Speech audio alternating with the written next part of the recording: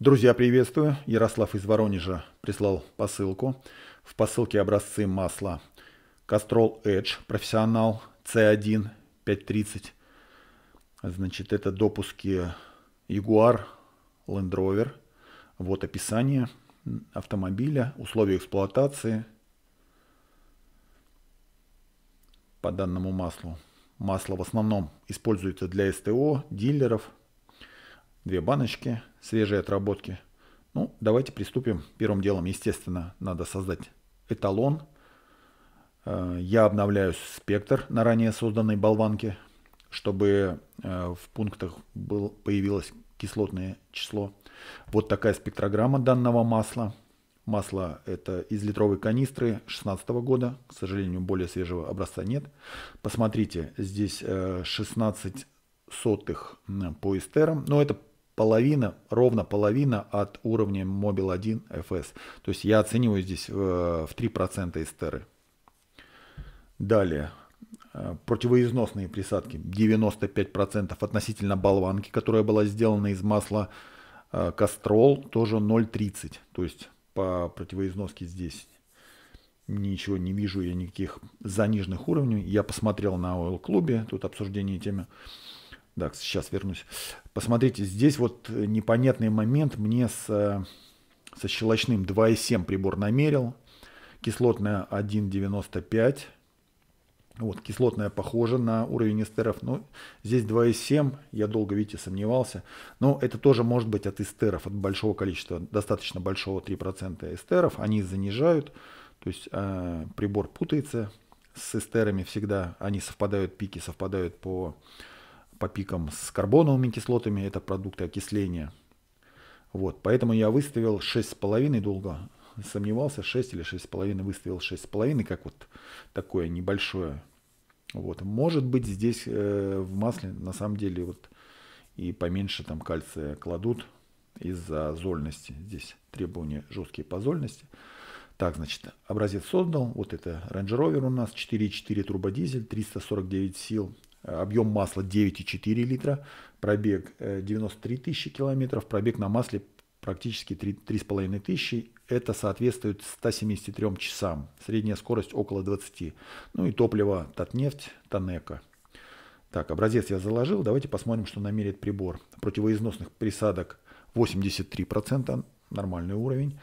Значит, э, гликоля нет. Сажа 26 э, сотых, тоже отличная для вот такой небольшой скорости, для города нитрование, окисление, все, все, все в порядке. 2,65 немножко растет э, кислотное, но тоже не критично, учитывая начальное 1,95. И 6 щелочное. Щелочное вообще, обратите внимание, как медленно понижается щелочное. Ну, это дизель, во-первых, это огромный, я бы сказал, картер. 9,4, почти 10 литров масла.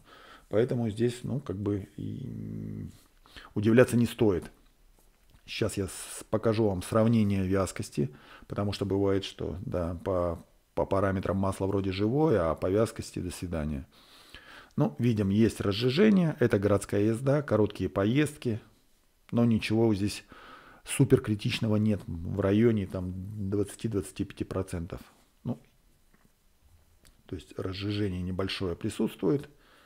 Ну, зима и городская езда, короткие поездки. Да, не забывайте отметить данное видео, так вы поможете каналу, подписаться и нажимайте колокольчик, если не хотите пропускать новые видео. Так, и сейчас традиционно оценка ресурса. Посмотрите, по моющей нейтрализующим свойствам масла с учетом огромного картера способно выдержать 650 мот-часов. По нитрованию 412, но это тоже большой объем, большая мощность, много кислорода потребляет двигатель, много азота попадает. Ну и третье это оценка, это вязкость. 865 моточасов по вязкости. То есть при нынешних тенденциях сработка будет по, по на, там, ближе к 900 часам. Вот, но это, это, этот показатель может несколько сдвигаться, меняться, то есть масло может медленнее, допустим, если будут загородные поездки и выпариваться будет топливо, то есть вязкость еще дальше теоретически проходит.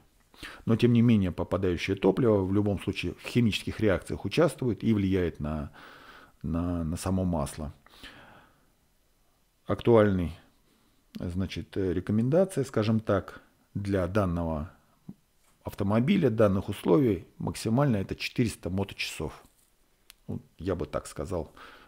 Это определено э, срабатыванием э, нитрования. То есть здесь уже при превышении показателей могут откладываться там и соединения всякие растворимые, нерастворимые. Ну и, кстати, и масло может загущаться, нитрование влияет на это. То есть больше соединений, больше всяких э, примесей в масле, и, естественно, оно гуще становится. То есть по вязкости можно э, убрать. Ну, по крайней мере, данный образец